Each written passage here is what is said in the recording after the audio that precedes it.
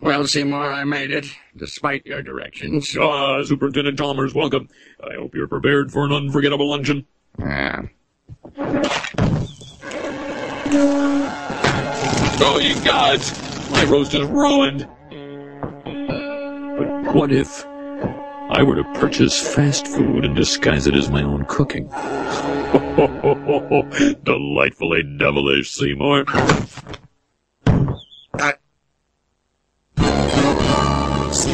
Skinner with his crazy explanations. The superintendent's gonna need his medication. We need his Skinner's lame exaggerations. There'll be trouble in town tonight. Seymour! Superintendent, I was just, uh, just stretching my calves on the windowsill. Isometric exercise. Here to join me? Why is there smoke coming out of your oven, Seymour? Uh, oh, that isn't smoke. It's steam. Steam from the steamed clams we're having. Mmm, steamed clams.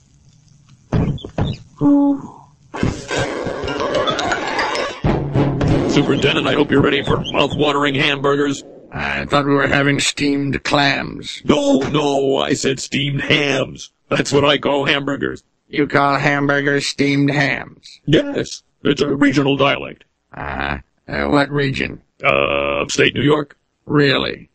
Well, I'm from Utica, and I've never heard anyone use the phrase steamed hams. Oh, not in Utica. No, it's an Albany expression. I see. You know, these hamburgers are quite similar to the ones they have at Krusty Burger. Oh, no. Patented Skinner Burgers. Old family recipe. Four steamed hams. Yes. Yes, and you call them steamed hams, despite the fact they are obviously grilled. You know, the, one thing I should... Excuse me for one second. Of course. Oh, well, it was wonderful.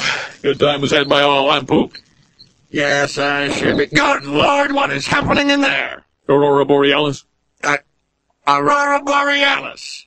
At this time of year, at this time of day, in this part of the country, localized entirely within your kitchen.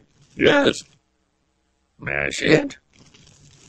No. Seymour, the house is on fire! No, Mother, it's just the Northern Lights. Well, Seymour, you are an odd fellow, but I must say, you steam a good ham.